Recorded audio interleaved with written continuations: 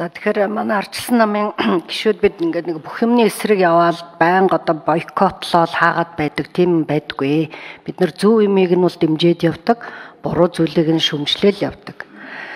А гэхдээ энэ нас юу сонгуулийн тогтолцоо давхар дээл за тэр гişүүдийн тоо за ерөнхийлөгчийн одоо тэр парламентаас сонгох үгүй юу гэл ингээл үндсэн хууль дээр чинь маш олон нэмэлт өөрчлөлтүүд дээр сая иргэд саналаа өгсөн шүү дээ.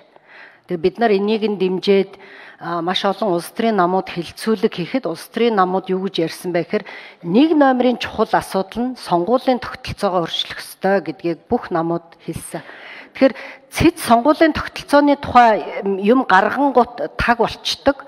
А давхар дээлний талаар гаргангууд маргааш нь ингээд зүтгэхэд хар чинь арт түмэн үнэхээр одоо дургуутсэж байна.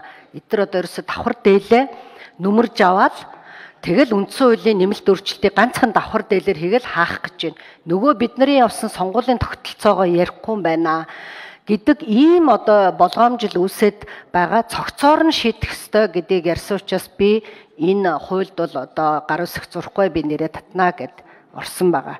Ер нь бол одоо манай арчилсан намын бүлгийн гишүүд бид нэр зөв явъя л гэж байгаа. Тэр тэр давхар дээлийн зарчмын хувьд дэмжиж болж гэн. За тэр э, сонгуулийн тогтолцоо одоо өөр юунуудад дэмжиж болно шүү дээ. Бид нар бол бас зарчмын хувьд зарим юм дэмжээл явж байгаа. Гэхдээ зөв явах хэрэгтэй байхгүй юу? А та нар хурдан шийдэх гэж гэж үндсэн хуулийн хямрал руу ингэж улс орныг түлхэж болохгүй. Судлаачид бол хэлсэн байж ерөөсөө үндсэн хуулийн хямрал руу та нар явуулаад байна шүү гэж. Тэгэхээр би ийм үндсэн хуулийн цэцтэй байгаа үед энэ үндсэн хуулийн нэмэлт өөрчлөлт чинь маш аюултай юм байна шүү гэдгийг би түрүүн байнгын орны хурал дээр хэлсэн. Би үндсэн хуулийн цэц яагаад аюултай байна вэ гэхээр өнгөрсөн хугацааны улс төрийн сонгуул бүх юмыг энэ цэц самарсан байхгүй юу? Жишээ нэгдүгээрт 92 оны үндсэн хууль давхар дээл болно гэчгээд яг арчилсан холбоо эвсэл ялангуут 96 оны 7 сард нь давхар дээл болохгүй гэд гаргачихж байгаа.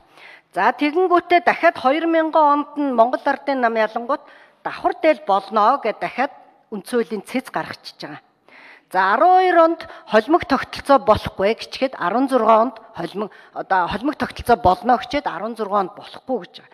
Тэгэнгүүтээ 2005 2015 онд үндсэн хуулийн цэц магадлал гаргаад үндсэн хуулийн нэмэлт өөрчлөлтийг үндсэн хуулийн цэцэн хянан шийдвэрлэхгүйгээд заачаад яагаад сая энэ хоёр заалтыг хүчингү болгож байгаа. Яагаад энийг их хурлаа ярьж болдгоо. Энийг яагаад судлаачтай ярьж болдгоо. Тэр үндсэн хуулийг анх баталсан нийгэмлэгийнхэнтэй яагаад ярихгүй ингээд шууд ингэчихэж байгаа. Эн чинь л энэ хүмүүсийн одоо дургуг хүргээд байгаа шүү гэдгийг хэлмээр байна. За тэгээд одоо нэг ноцтой асуудал байгаа. Сая давхар дээл болно. Эн чинь одоо үндсэн хууль ингээд зөрчинөж гаргачаад 96 оныхоо давхар дээлийн асуудлыг эцэслэн шийдсэн цэцгийн тогтоолчийг хിവэрэ байгаад байгаа байхгүй. Энийг өчнгөө болгоогүй. Тэгэхээр би энх бол дараагаас нэг зүйлийг асуух гээд байна. Цэц өнөөдрийн байдлаар хоёр яг ийм дүгнэлт гаргачаад аль нэг нь хүчингү болгоогүйд аливаар нь явах юм бэ? Энэ тогтоолоо 96 оны тогтоолоо хүчингү болгоогүй шүү гэдгийг надад одоо мэрэгжлийн хүмүүс хэлж байгаа.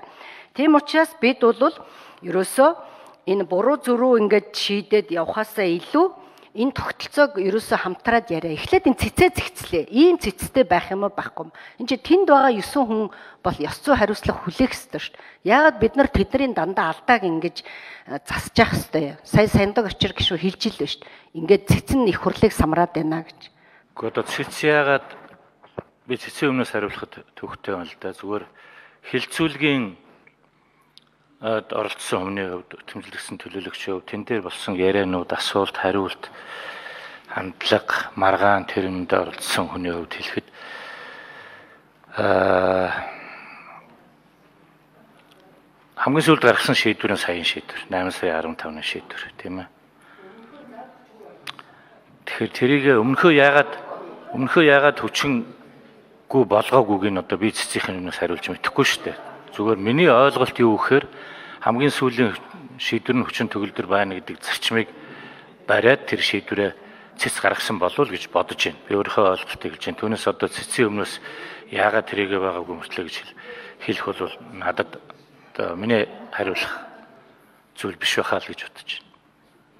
Тодруулга авч болно л доо. Та нар ч гэсэн шугамаараа өөрснөө бас альбом хүсэл тавиад тодруулга авч болно шүү дээ. Тэгээ одон төвийн гишүүний юунд би хариулахгүй ч гэсэн зүгээр зарим алдааг залруулахгүй бол 92 онд бол зэцийн дүнэлтээр давхар дээл болно гэсэн энэ юм гараагүй давхар дээлгүй 92 оны засгийн газар засгийн засгийн газар дөрвөн давхар дээлтэй сайттай байсан. Тийм хязгаарлалтай байсан. А 96 онд үндсүүлийн цэцгийн тогтоол гараагүй дүгнэлт гарсан. Тэгээ өмнөд дүгнэлтүүд гарсан учраас энэ удаа тогтоол гарсан гэж тогтоолдоо тайлбарсан баг. Тийм учраас манай гишүүд нөгөө тогтоол энэ төрөө сайн уншиж тогтоол дээр тэмдэглэсэн хэсгүүд дээр чинь мэрэгжлийн хүмүүсийн яг энэ тогтоол дээр чинь дүгнэлтүүдээ хүчин болгоод үсэн тогтоол гарсан юмуд бичсэн байж тээ. Тогтоол дээр энүүд нь байгаа. 96 онд чинь дүгнэлт гараад тэгээд тэр нөгөө дүгнэлтүүд гарсан учраас их суудал хуралдсан энэ төргээд тийм тайлбарууд авчирсан юм байл. Тэгээ тэрнийг бол одоо өгөөсөх юм нотлоожуулах зүйл биш. Энийгээ бол уншаад үзээд тэрнийг тайлбарлаа асуугаа явж болно. Би тэрний зүгээр тайлбарлаж